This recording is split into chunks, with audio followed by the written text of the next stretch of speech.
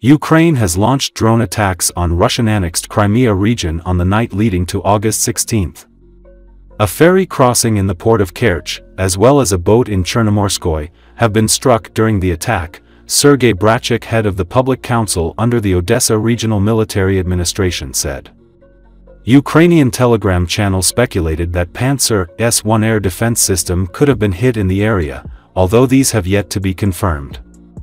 Russian Defense Ministry reported in its Telegram channel that air defense systems intercepted or shot down five Ukrainian aircraft-type drones over the Black Sea.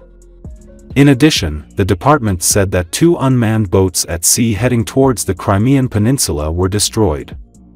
Images have been circulated in Ukrainian telegram channels, showing fire in Kerch Bridge in Crimea. Mikhail Razvozhaev, the head of Crimea's Sevastopol city, wrote on Telegram that the attack began at about 1.38 at night. At 2.51 am, Razvozhaev said that the military had shot down three drones over the Black Sea.